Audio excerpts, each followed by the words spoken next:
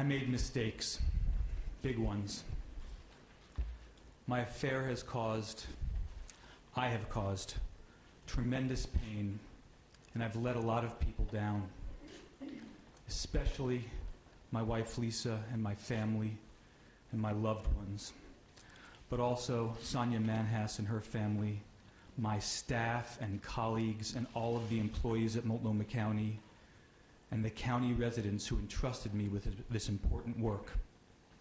I'm deeply sorry, and I hope to be able to work to reduce this pain. Two days ago, this board called for an independent investigation to determine whether my affair represented an abuse of power. I supported that call for an investigation, and I still do. I've promised to cooperate entirely with the investigation. I believe the investigation will find no abuse of power.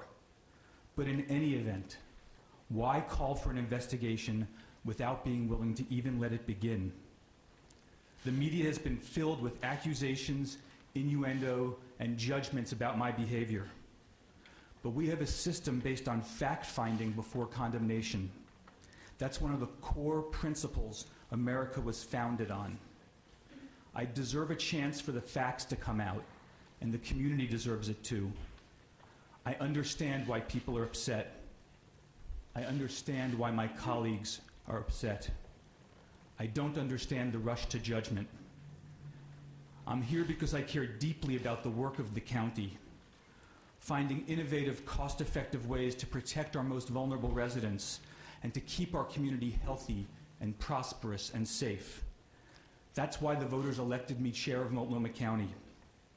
I ask my colleagues to let the investigation you've called for reach its conclusion. Then, guided by facts, by an independent finding, not a media frenzy, we can move forward. It's time to put the distraction aside and get back to work.